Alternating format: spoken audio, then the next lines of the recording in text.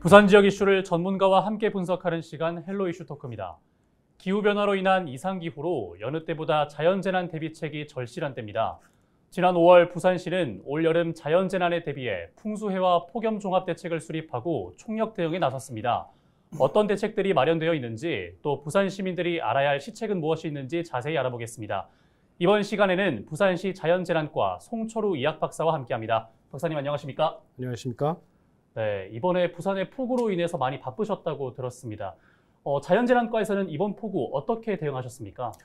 네, 어, 부산시에서는 이제 약 4주가량 재난안전 대책본부를 운영한 것 같습니다. 그래서 뭐 예찰 활동도 굉장히 많이 했고요. 그리고 시민들께서 많이 불편하셨을 것으로 예상합니다. 저희가 통제도 굉장히 많이 했습니다. 하천변부터 시작해서 도로까지 지하차도도 포함해서요. 그래서 어, 다행히도 어, 뭐 많은 피해는 없었다라고 말씀을 드리고 싶네요. 네, 앞으로도 잘 대비가 되어서 많은 인명 피해를 막았으면 좋겠다라는 생각이 들고요. 또 아무래도 자연재난과의 업무상 날씨 변화에 주목하고 있지 않으시겠습니까? 올해 역시 이상기후 조심이 심상치 않은데 자연재난과에서는 올 여름 부산 날씨에 어떤 점을 예의주시하고 있으십니까? 네, 기상청에서도 올 초에 발표를 했습니다. 이제 그 라니냐에서 엘리뇨로 이제 올해 넘어가는 그런 시점으로 이렇게 예보를 했었고요. 그래서 이제 엘리뇨로 들어가면서 그러면 과연 어떤 변화가 우리에게 있을 것인가 이런 부분들에 대해서 많은 브리핑을 했었는데 여러 가지 부분들이 있습니다. 국지성 호우가 굉장히 잦아질 것이다. 그리고 태풍의 수와 강도도 증가할 것이다. 그리고 여기에 포함해서 어, 일체감 온도가 33도 이상 올라가는 폭염일수도 증가할 것이다. 라는 부분들이 지금 기상청에서 지금 예보된 부분이다라고 말씀을 드리고 있고요. 어, 저희 자연재난과에서는 호우, 태풍, 폭염에 대해서 이런 부분들을 감안해서 종합 대책을 어, 수립하고 운영하고 있습니다.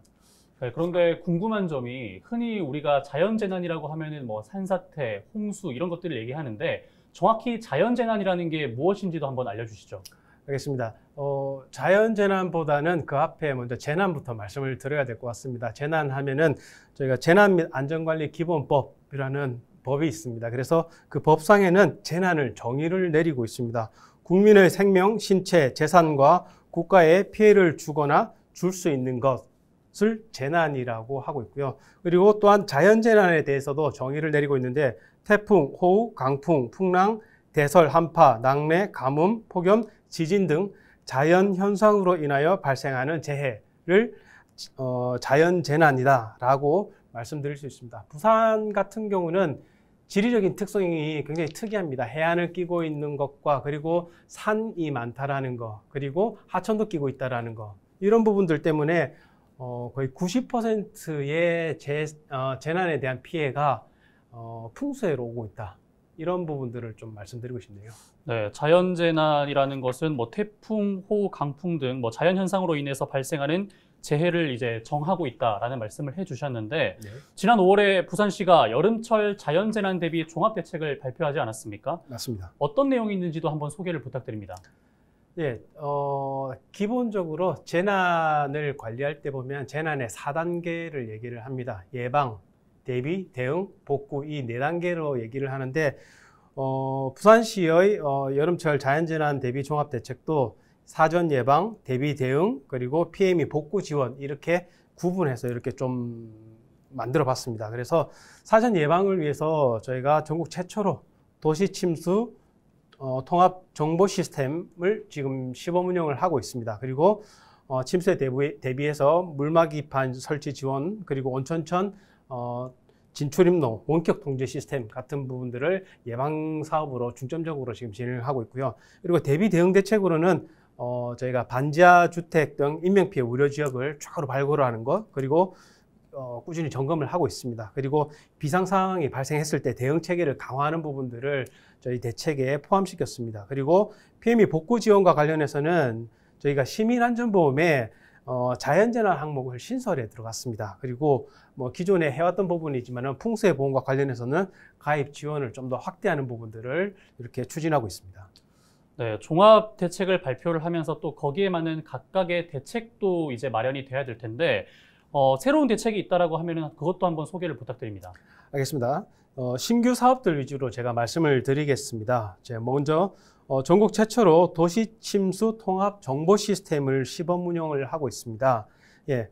어, 이 시스템에는 침수 예상도, 재해 정보지도, 대피소, 대피 경로, 통제 정보 등을 실시간으로 제공하고 있습니다. 이런 정보들을 시민들에게 실시간으로 제공함으로 인해서 시민들이 조금 더 능동적으로 재난에 대응할 수 있도록 이렇게 정보를 제공하고자 어, 시스템을 시범 운영을 하고 있습니다. 그리고 어, 호우로 인한 침수 때 맨홀 추락으로 인한 사고가 굉장히 빈번하게 발생하고 있습니다. 그래서 어, 맨홀 약 1000개소에 대해서 추락 방지 시설을 설치를 하고 있습니다.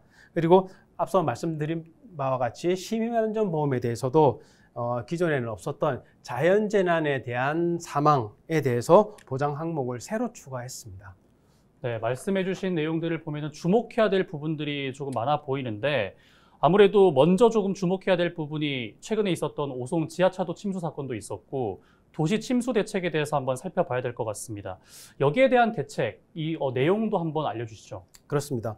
어, 이번에 어, 오송 지하차도 사고도 있었고 도심 지역에서의 침수 굉장히 위험하다고 할 수 있겠죠. 그래서 저희 풍수의 대책에는 어, 이런 부분에 있어서 인명 피해를 막는 것 이것을 가장 중요한 어떤 저희 목적으로 두고 있습니다. 그래서 어, 기존에 보면은 이제 비가 내릴 때 우리가 어느 정도 비를 어, 기준으로 해서 방제 성능을 이렇게 설정할지 이런 부분들을 기준을 잡습니다. 그래서 그 부분을 방제 성능 목표라고 하는데 부산시가 이 부분에 대해서 어, 상향 조정을 했습니다. 시간당 113mm 정도의 강수를 목표로 하고 있습니다.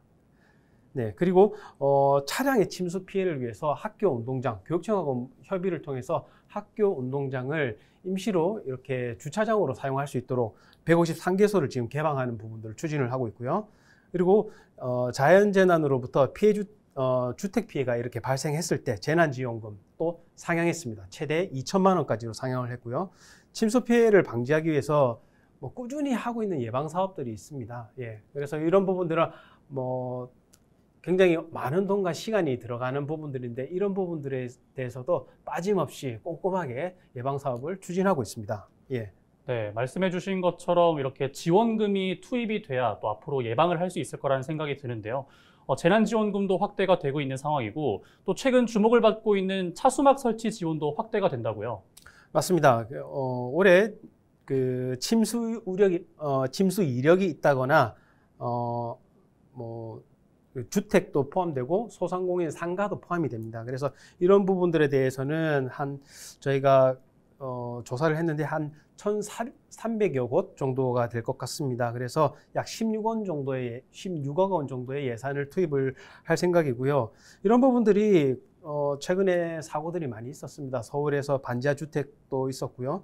포항에 공동주택, 뭐 어, 주차장 침수 이런 부분들 있어 왔습니다. 그래서 이런 부분들을 우리가 부산시에서는 예방하고자 어, 어, 반지하나 공동주택을 대상으로 우선 설치 대상을 우선 선정을 했습니다. 그래서 이런 부분들 예산을 투입해서 꾸준하게 진행을 해 나갈 계획입니다. 네, 이제 8월이 되면서 태풍도 올 수가 있고 다양한 또 침수 피해가 예상이 될 수가 있는데 이런 부분들을 잘 대비를 해서 잘 막았으면 좋겠다는 생각이 듭니다. 네. 어, 또 이 무더운 날씨를 체감하는 상황에서 폭염이 예상되는 올해 대비책도 궁금하거든요.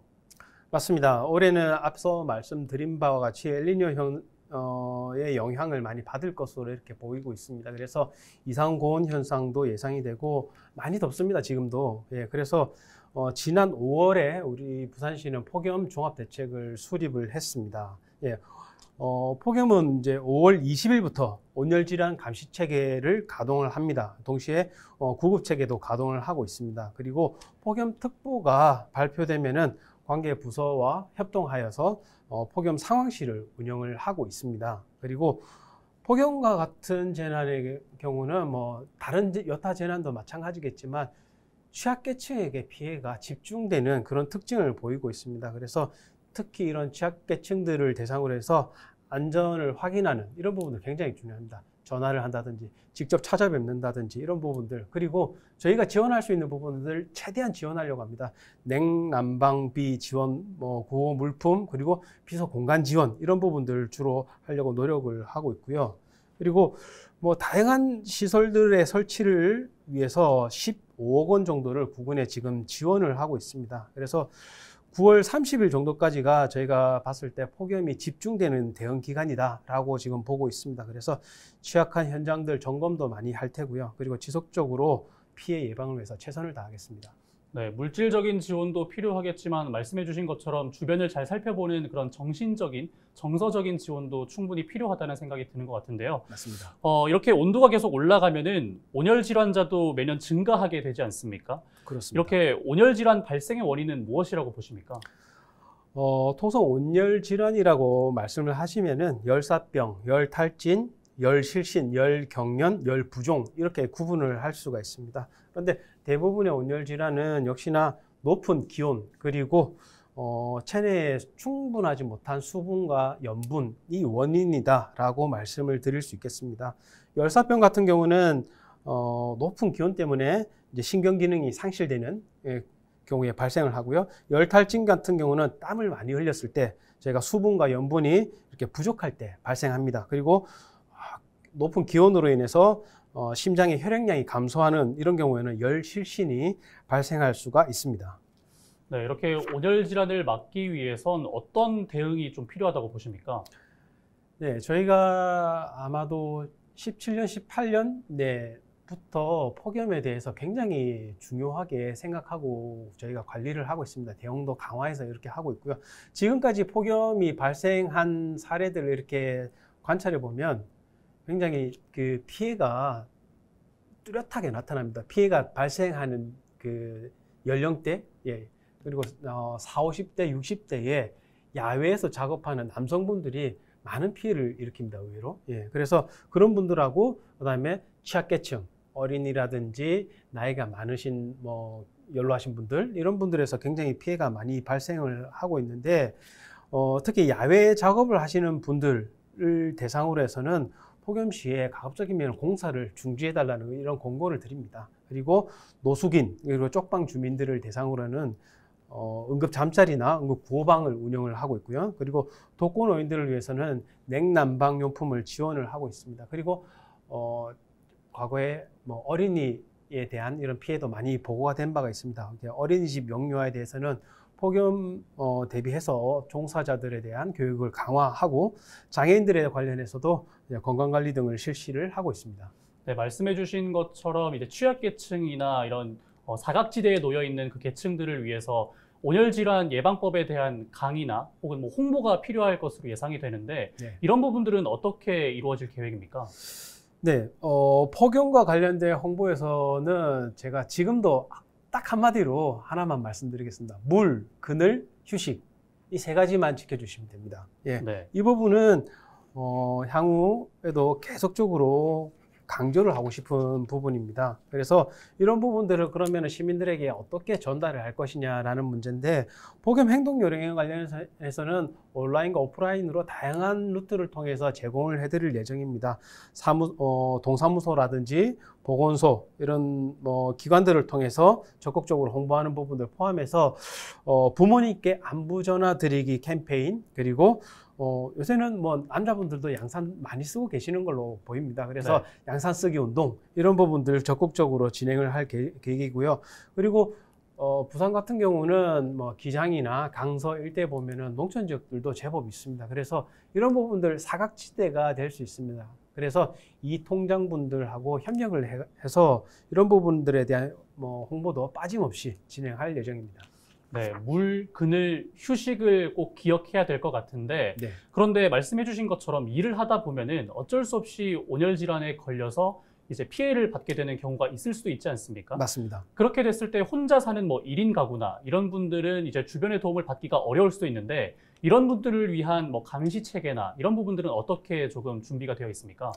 맞습니다. 이런 부분들 굉장히 저희가 이제 사각지대에 놓인 어, 이런 부분들이라고 볼 수가 있습니다. 그래서 어, 저희가 폭염과 관련- 관련해서 이렇게 사건 사고들이 이렇게 발생하는 피해가 발생하는 경우들을 이렇게 쭉 분석을 해보면은 혼자 야외에서 작업하시다가 이렇게 쓰러지시는 분들 분명히 있을 수 있습니다. 그래서 이런 부분들에 대한 사각지대를 해소하기 위해서 저희는 어 이제 뭐 노숙인 분들 같은 경우는 현장 대응 전담 팀이나 이런 부분들을 운영을 하고 있고요. 그리고 뭐 그 저희가 드론을 이렇게 운영을 해서 사각지대를 해소하는 그런 부분들도 많이 이렇게 적극적으로 활용을 하고 있습니다. 그리고 뭐 특히 이제 쪽방 거주자나 이런 그 분들 혼자 계시는 분들 많이 있습니다. 이런 부분들을 위해서는 꾸준히 지속적으로 연락을 드립니다. 예, 그래서 혹시라도 피해가 있지 않을까 이런 부분들을 늘 챙기고 있습니다. 네, 함께 사는 사회이기 때문에 주변에 또 많은 관심을 가지면서 같이 살아가는 사회가 되기를 한번 기대를 해봐야 되겠습니다. 네. 최근에 지자체마다 스마트한 폭염 대책도 눈길을 끌고 있는데 부산시에는 또 어떤 것들이 있는지도 알려주시죠. 맞습니다. 어, 일례로 폭염 그늘막만 봐도 최초에 도입되던 시기에는 그 담당 직원들이 가서 손으로 그거를 어, 접었다 폈다 해야 되는 그런 불편함이 있었는데 지금은 어, 지금 그늘막에 온도와 그 풍향, 풍속 센서가 이렇게 다 이렇게 장착이 되어 있습니다. 그래서 뭐 이런 그 기상 상황에 따라서 자동으로 접히고 펴지는 그런 형태로 폭염 그늘막을 운영을 하고 있습니다. 그리고 그늘막뿐만 아니라 뭐 정류장의 에어 커튼이라든지 뭐 도로 물 분사 그리고 실내에 정원을 조성하는 이런 부분들까지도 다양하게 진행이 되고 있으며 이런 부분들을 적극적으로 또 지원하기 위해서 부산시에서는 구군에 많은 예산을 또 지원을 하고 있습니다. 그리고 앞서 말씀드린 바와 같이 드론을 활용해서 사각지대를 모니터링하고 또는 물이나 이런 부분들을 이렇게 제공하는 이런 부분들도 같이 진행하고 있습니다. 네, 예방법과 함께 또 궁금한 것이 바로 피해 복구 지원 대책일 텐데 시민 안전보험의 보장 항목 신설이 신규 항목이었더라고요. 이 자연재해에서도 시민 안전보험으로 보장을 받을 수 있게 되는 겁니까? 네, 시민안전보험의 어, 자연재해와 관련해서 보장이 된 게 2023년 2월부터 추가가 됐습니다. 네, 관련된 내용은 태풍이나 홍수, 호우, 강풍, 폭염 등 각종 자연재해로부터 사망하신 경우 이제 위로금을 추가로 지급을 해드릴 수 있는 보장 항목을 이렇게 신설을 했고요. 어, 사고 발생 후 3년까지 이렇게 보장이 가능하니 어, 시민안전보험 관련해서는 어, 통합상담센터가 있습니다. 1522에 3556번으로 전화를 하셔서 필요한 부분이 있으면 언제든지 상담을 받아보실 수 있습니다. 네, 마지막으로 우리 부산 시민분들께 자연재난과의 각오 한마디 부탁드리겠습니다.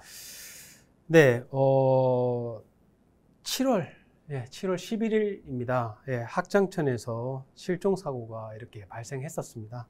저희 최초의 5월 달에 저희가 여름철 대책을 수립할 때는 인명피해 제로를 위해서 저희가 최선을 다하겠다라는 어, 다짐을 가지고 이렇게 시작을 했는데 안타깝게도 인명피해가 지금 발생을 한 상황입니다. 그래서 뭐 소방, 경찰 할 것 없이 어, 지금 수색 작업이나 이런 부분들 계속 진행을 해왔고요. 그리고 뭐 저희가 뭐 여러 통제를 많이 했었습니다. 예, 하천변도 통제하고 지하차도도 통제를 하고 선제적으로 이렇게 통제를 해서 최세 뭐 최대한 인명 피해나 재산 피해를 줄이기 위해서 많은 노력을 이렇게 하고 있는데 항상 그런 것 같습니다. 이제 예기치 않은 이런 저희가 이제 상상할 수 없는 그런 영역으로 재난이 넘어가면은 저희가 할 수 있는 부분들이 참 많이 힘들구나라는 부분들 많이 느낍니다. 이럴 때 저희가 드는 생각이 조금 드는 부분이 시민들께서도 다만 한 발, 다만 하나의 관심이라도 좀 주셨으면 하는 부분들. 저희가 통제를 하고 하는 것들이 시민들에게 많은 불편을 드릴 거라는 생각도 많이 하고 있습니다. 그렇지만은 이 모든 것들이 시민들의 생명과 재산을 보호하기 위해서 부산시에서 이렇게 적극적으로 하는 부분이다라고 조금만 이해를 해주셨으면 하는 부분들 있습니다. 그리고 앞으로도 부산시의 자연재난에 인명피해, 재산피해 막기 위해서 부산시는 최선을 다하겠다 약속드리면서 이상 가름하겠습니다. 네. 더 이상의 인명피해가 없는 안전한 부산이 되기를 기대해 보면서 오늘 말씀 여기까지 듣겠습니다. 감사합니다. 네. 인간이 좌우할 수 없는 자연현상 앞에서 인명피해 제로를 선언한다는 것은 큰 의미가 있습니다. 부산시의 다부진 각오만큼 올해는 어떠한 자연재난에서도 시민들의 안전과 일상이 유지될 수 있기를 바라면서 오늘 헬로 이슈 토크는 여기서 마무리합니다. 오늘 방송은 헬로티비 뉴스 공식 홈페이지에서 다시 보실 수 있습니다. 시청해주신 여러분 고맙습니다.